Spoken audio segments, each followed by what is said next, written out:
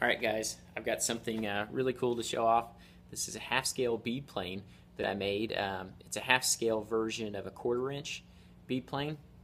So here's a little comparison to what the standard size looks like, side-by-side -side comparison. Anyway, so it's actually going to be cutting an eighth-inch profile since it's a half-scale version of a quarter-inch uh, beading plane. So let's see how this guy cuts.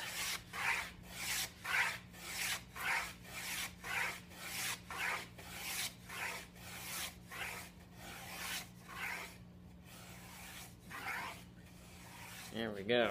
Can whip out a bead almost as fast as the big guys. Got to set it a little bit lighter, I find. But anyway, I hope you enjoyed that demonstration. I enjoyed making this. And uh, by the way, I should mention that I was kind of inspired to do this after seeing a lot of the work of uh, Marco Terenzi. Of course, he's doing a lot of quarter scale stuff. If you haven't ever seen his work, you should go check him out. He's on Instagram. He's a, a great guy to get a little inspiration from. And uh, Maybe we'll come up with a quarter scale version of this. We'll see. All right. Hope you enjoyed.